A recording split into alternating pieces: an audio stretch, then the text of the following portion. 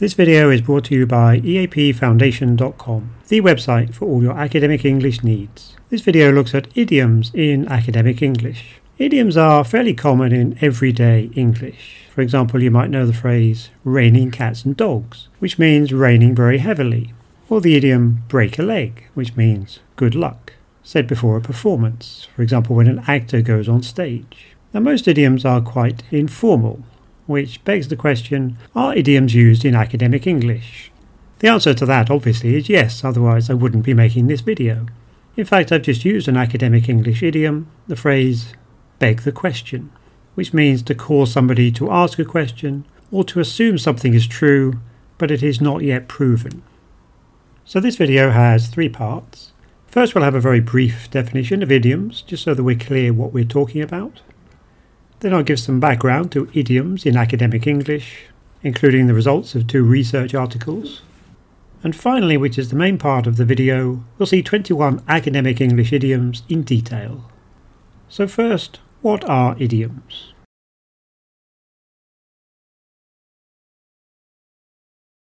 Idioms are expressions which are fixed. For example, we can say raining cats and dogs, but we can't say cats and dogs are falling from the sky it doesn't have the same meaning. We can say break a leg, but we can't say I hope your leg breaks. Idioms are multi-word expressions, in other words at least two words. In fact most idioms are three or four words in length. Idioms are well established. For example, beg the question has been around since the 16th century. Raining cats and dogs since the 17th century. Break a leg is actually a fairly recent idiom, originating sometime in the 1940s.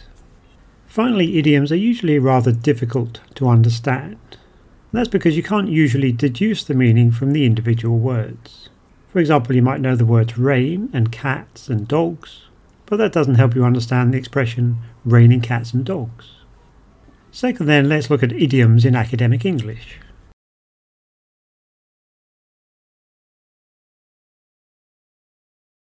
So there are a couple of studies which have identified idioms used in academic contexts.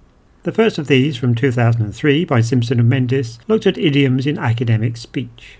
A more recent study was conducted by Julia Miller of the University of Adelaide in 2019, and this considered idioms in both academic speech and academic writing.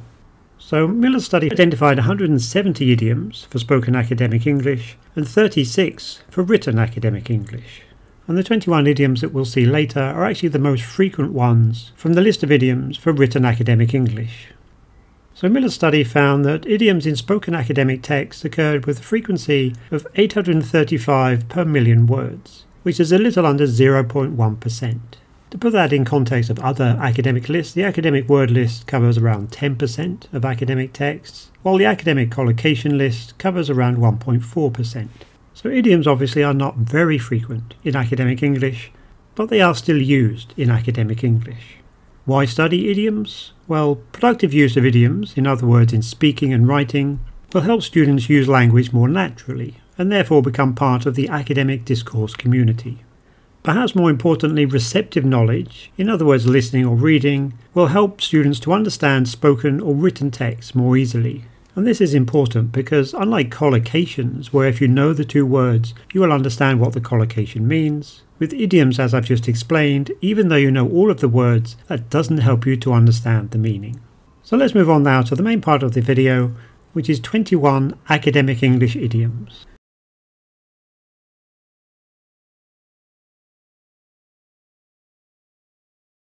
And to make these idioms easier to understand, I've collected them into different categories. So there are body idioms, action idioms, power idioms, idioms with the word gold, idioms with the word line, and a few other idioms that don't really fall into any category. First then, let's look at body idioms. So two very common idioms in academic English, which many students may already be familiar with, are on the one hand and on the other hand on the one hand means from one point of view, on the other hand means from a different point of view. On the other hand, which can be used on its own, is actually the most common idiom in academic English, in both speaking and writing. While on the one hand is the third most common idiom in both speaking and writing. You can see some numbers there and I'll just briefly explain those because I'll be using them throughout the video. So these numbers come from Miller's study, and the green ones are for writing, the blue ones for speaking. The first line shows the rank of the idiom for writing and the frequency per million words, while the second row shows the rank for speaking and the frequency per million words for speaking. So as I've just said, on the other hand, is the most common idiom for both writing and speaking, with a frequency of 88.12 per million words for writing and also quite high frequency 64.11 for speaking. So let's see some examples of these in real sentences. Nuclear energy, on the one hand, can provide huge amounts of power. On the other hand, it produces toxic waste, which must be treated very carefully. Another example, public transport has many benefits, for instance helping to reduce air pollution. On the other hand, it is less convenient than travelling by private car. So the second example uses only on the other hand. And that's the reason why this idiom is more common than on the one hand, because it is often used on its own. A couple of usage notes here. So for the idiom on the one hand, the word the can always be omitted, although it's much more common to use the. Miller's study actually considered this to be a separate idiom, and you can see this idiom has quite low frequency for both writing and speaking. In this video I'm going to consider the idiom on one hand as being the same idiom as on the one hand. For the idiom on the other hand, the word hand can be omitted only when this idiom is combined with on the one hand. And it's actually quite common to omit this word. So in the first example we could say nuclear energy on one hand can provide huge amounts of power, on the other it produces toxic waste which must be treated very carefully.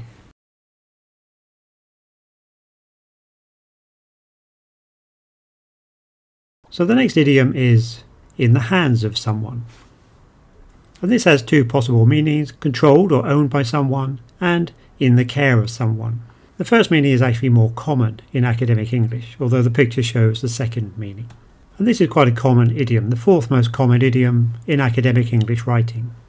So an example, the stability of an economy lies in the hands of its investors and borrowers. In other words, the stability of an economy is controlled by its investors and borrowers. Second example, in the 18th century, power in the country was concentrated in the hands of a few corporations.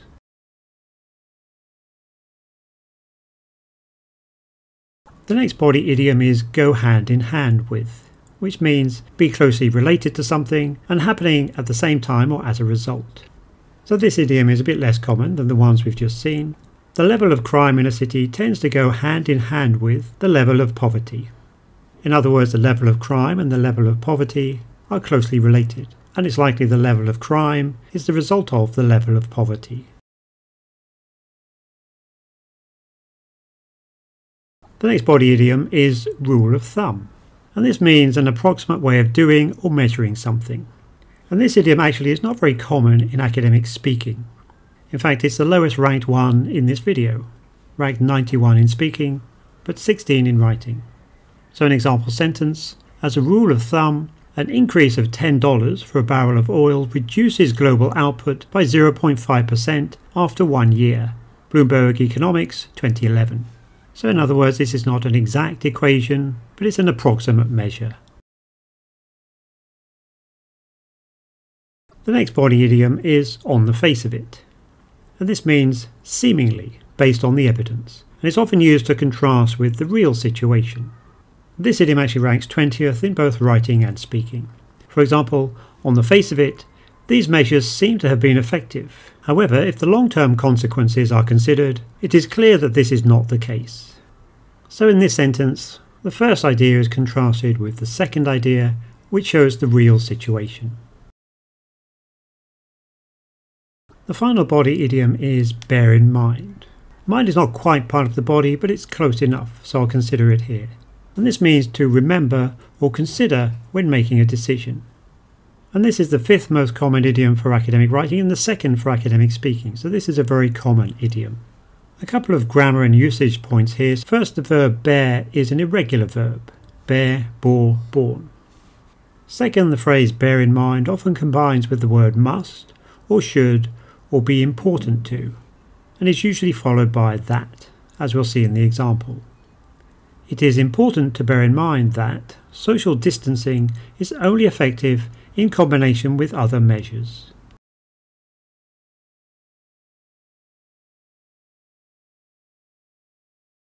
Next, let's move on to action idioms. So the first of these is in the long run, which means over a long period of time. And the second is its opposite, in the short run, which means over a short period of time. These idioms are especially common in economics, although they're also common in business, with in the long run being used more frequently than in the short run. Possibly because when we look at an economy or a business, we're more concerned about what happens in the long run than the short run. And both of these idioms are actually more common in written academic English than spoken academic English.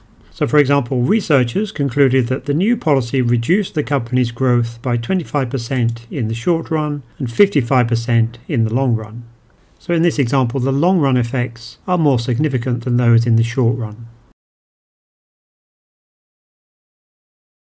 The next action idiom is a step further, which means to make an improvement or advancement. And this often combines with the verb take, take something a step further. And there's also the idiom a step back, which means to make something worse, which is the opposite of a step further. And Miller's study actually combined these two idioms. Again, these are quite common in both academic writing, where it ranks 10th, and speaking, where it ranks 9th. For example, Freud took this idea a step further in his work The Interpretation of Dreams. In other words, Freud advanced this idea in the interpretation of dreams. The deal represented a step back for the company. In other words, the deal made things worse for the company.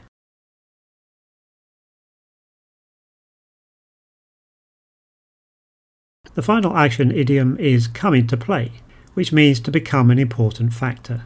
For example, globalization is one of the reasons for increasing urban populations in developing countries. However, there are other factors that come into play, such as natural disasters and civil war.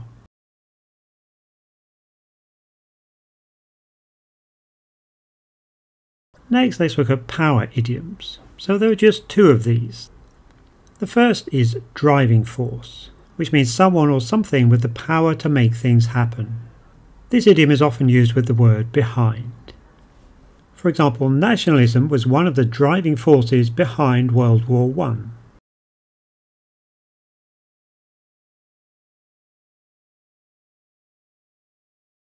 The second action idiom is the balance of power which means the way power is distributed between rival groups or countries. Because of the meaning, this idiom is especially common in politics, history and law, and it frequently occurs with the verb shifting, which means changing, and is common in academic writing and speaking, but especially in academic speaking, where it's the fourth most common idiom.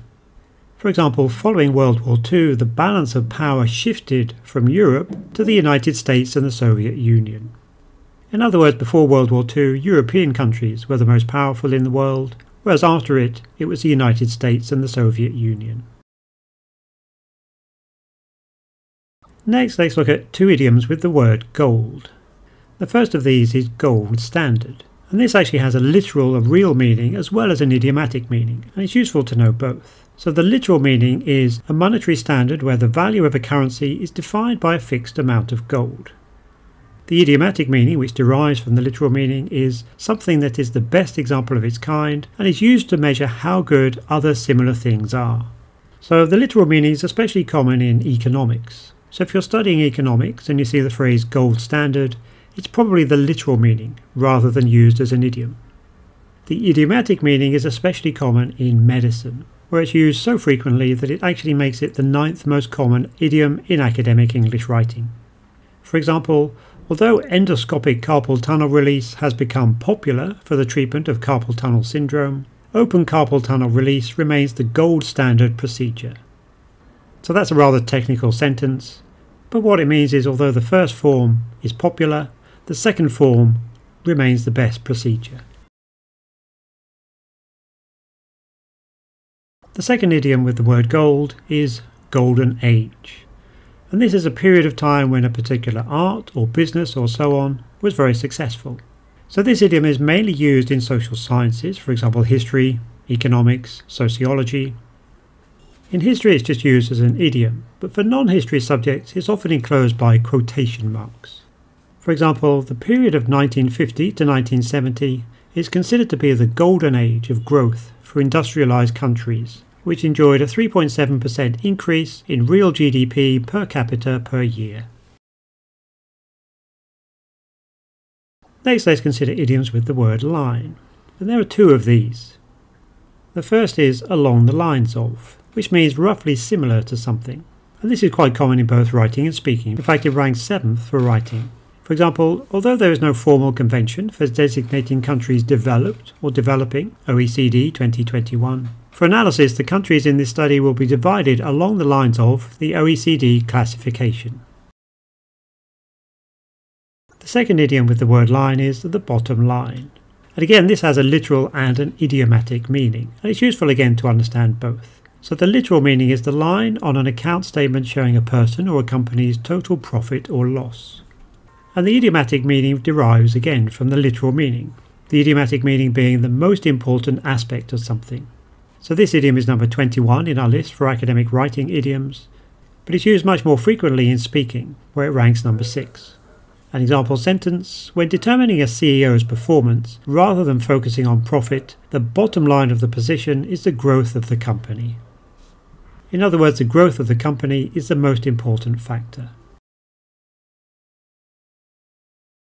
So finally, let's look at other idioms. There are four idioms left. The first of these is in light of or in the light of, which means because of, specifically because of some new information. The phrase in light of without the word the is often followed by this. And this is actually the second most frequent idiom for academic English writing. For example, the experiment was extremely dangerous. In light of this, extra precautions for safety were taken. Another example, in light of the evidence, it is clear that major changes need to be made. Next, in its own right, which means on its own and not because of something else. Again, this is a common idiom in academic writing, more common in writing than speaking. Marketing for the brand originally depended heavily on the parent company. Now, however, the brand is established in its own right and has its own marketing division. In other words, the brand no longer depends on the parent company. The next idiom is bad news, and this means someone or something unpleasant. This idiom ranks 18th in both writing and speaking. An example sentence Patients need to be reassured that receiving a positive result is not always bad news, since the test has only 60% accuracy rate. And the final idiom is last resort, which means a solution that's chosen only if there are no other options. And again, this idiom is more common in academic writing than academic speaking. The side effects of the medication are extreme, and it should only be taken as a last resort.